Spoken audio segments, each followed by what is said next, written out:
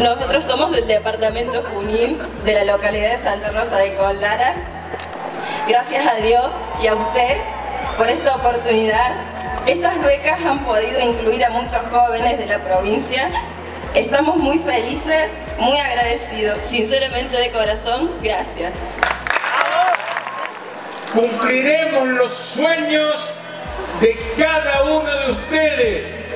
Y en los sueños de cada uno de ustedes está el sueño de toda la provincia de San Luis.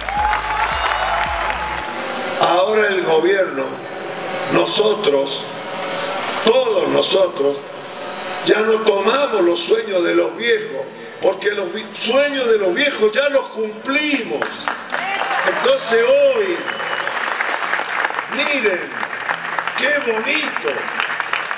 Estamos tomando los sueños de los jóvenes, los sueños de cada uno de ustedes, convertido en un proyecto. Y nosotros vamos a ser todos facilitadores para que ustedes, los jóvenes, se empoderen, tomen el poder tomen el poder, cumplan los sueños y gobiernen también esta provincia. Esto es cuando decimos los jóvenes son el presente.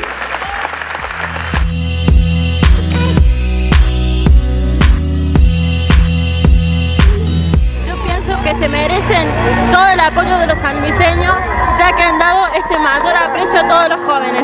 Cuando me llamaron, una emoción terrible al saber que, mi proyecto se iba a cumplir. Bueno, estamos felices y agarré mi gordo y nos vinimos para acá tempranito. Eh, vinimos a hacer la cola, a estar acá, a ser parte de, esto, que es muy lindo. El Alberto y el Adolfo dijeron lo concreto y bueno, estamos muy felices.